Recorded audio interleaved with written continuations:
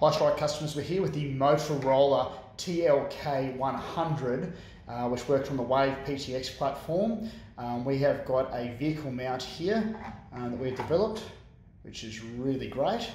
Um, so that's charging with enterprise grade power. Um, these can be hardwired into a vehicle or they can also be used using the cigarette lighter socket.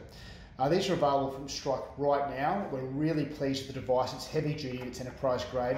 We think you'll like it too. Thank you.